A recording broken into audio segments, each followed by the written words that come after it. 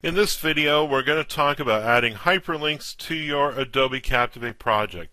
Now, before we get started on the technical how-to stuff, I just want to say that there is a little bit of risk in what we're talking about here, and the reason is is that you know when you have full control of your Adobe Adobe Captivate project, you can decide what goes on any page. You can embed certain documents right into the SCORM file. You can you can do all this stuff at any time you link to outside of your little world here. Uh, and that includes like uh, policy documents within the corporation, documents that exist on the World Wide Web, web pages that exist on the World Wide Web, um, YouTube videos, uh, web pages that you embed in a, a, a little frame or window in your course. Anytime you do that, you're running a little bit of a risk. And the areas that I would think about is that, first of all, that content may not be there a year from now. You know, so suddenly your course is broken six months, a year from now, simply because the content that you relied on to be a part of your Adobe Captivate project has been deleted or is gone or whatever. The other aspect too is it could change, right? So that document or that website or that uh, PDF file or that YouTube video, while it might still be there, uh, maybe the content has changed. Maybe the original author has changed their uh, opinion about things, and of course now you're linking to something that uh, that is in contradiction with your course. So uh, be cautious, you know, and consider that uh, if you are going to link to outside documentation, that you have uh, a really good plan for refreshing your courses on a fairly frequent basis, something to check the material from time to time to make sure that the content is still there. So again, that uh, that's all I'll say about that. There's certainly uh, there's much debate over whether um, you know linking to outside documentation uh, is a sound design decision on your part. Um, in the end, of course, your your subject matter expert or your stakeholder that you're working with may decide that that's what they want in the course. So obviously, you're all about customer service and providing them what they need. You certainly can do it, and here's how you do it technically. So I've got a couple of examples that I'm going to show you. Three examples of how you can do a hyperlink in Adobe Captivate. Uh, again, I'm working with uh, Adobe Captivate 9.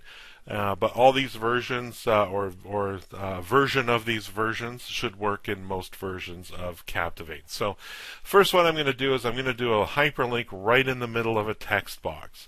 And I'm just going to highlight the uh, the here and click here to open the policy document, etc., etc. And then I'm going to go over to my properties panel and scroll down until I get to the characters section and if you've uh, not noticed these before, there are three little icons. And these icons are insert symbol, so this is very similar to a character map. And uh, there's insert variable, so you could have an, uh, a variable um, within the text on your screen. And the last one is the one that we're interested in, and that's insert hyperlink. And it's real easy to use. I just click on this button here, and this little tiny window pops up and I'm going to first of all select what type of thing I'm linking to. Uh, the default is web page, but you could be opening a file. You could be, in fact, a hyperlink can be send an email to some particular email address. You could actually hyperlink to another slide within this very same project. Uh, you can open another project, etc., etc. So there's a lot of options here, but really what we're talking about today is opening up a web page or an external file somewhere on the internet. So we'll keep this web page for now, and uh, they give you the default of adobe.com, a little self uh, promotion on their part, but there's nothing wrong with that. We'll stick with that example, but you could put any hyperlink you want in here, any URL to a website, a web page, or even to a PDF document that might exist on another company's website. Now, the last thing you do before you click on, on OK is you need to select how that hyperlink is going to open. And uh, quite frankly, the, the four choices are here. Really, there's only one that you need to be concerned about, and that's new. Uh, I recommend that you always choose new because a new browser window, and that's what we're talking about here, a new browser window is not going to interfere with anything else that's going on on your user's screen or desktop at that time. If you choose current, it's going to replace the e-learning course that your user is running through with that hyperlink. And of course, that's going to break the connection between the e-learning project and the learning management system that, of course, uh, the user is running your course from. Um, so current is definitely not what you want to use. New, unless you know, let's say I can I can think of one example where current would be applicable, and that's if you were having your user fill out, let's say, an evaluation survey at the end of your course. You know, what did you think of this course? What did you think of the narrator, etc., etc. You you could certainly take away from that once the user has uh, scored their final quiz and that has been communicated to the learning management system, certainly current would be fine. But even new might be still recommended. You're not going to mess around with anyone's stuff. The uh, parent and top, this has to do with uh, uh, existing windows that are open on the user's desktop. So, for example, if you're running um, within a frame of a course, you know, the parent or top uh, HTML page will be, uh, you know, have to do with iframes and stuff like that. Again, there's risk in uh, that that being, you know, perhaps the LMS window itself, and you don't really want to sever that connection between the e-learning course and the learning management system. So again, I just say, you know what, let's stick with new. I use it almost 100% of the time when I do this. So all I need to do now is click OK and that creates what you would expect to see in a typical hyperlink. You could, of course, highlight this and change, you know, the formatting, the font, the font color, and so forth. But I recommend that you have a difference between the rest of the text to indicate to the end user that this is a hyperlink. There's something they can click here that's going to take them somewhere else. So that's the first way of doing hyperlinks in Adobe Captivate. The other thing you can do is you can have it be a part of an action associated with a button or you know a smart shape being used as a button as I've got here. This is what this is here.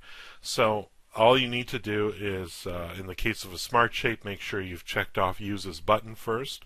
And then in the Actions tab, which is part of your Properties panel as well, change the success uh, the the success uh, result from go to next slide or continue or whatever it might be to open URL or file. So you're going to be uh, confronted with pretty much the same information that we had when we were creating a hyperlink in text, but we're just going to put in here www.adobe.com. And again, like before, we can choose whether it's going to be the current window, parent window, top window, or new window. Again, stick with new. Now, with certain versions of Adobe Captivate, you'll have the option to check off or uncheck continue playing the project. Uh, the idea here is that when I click this, continue playing the project will mean that it will go from a state of pause back to play, and it will continue to play your project in the background while the user looks at adobe.com in this case uh, I would recommend that you uncheck this because, of course, until they're finished doing whatever it is they need to do on that web page, you don't want your e-learning project to continue in the background.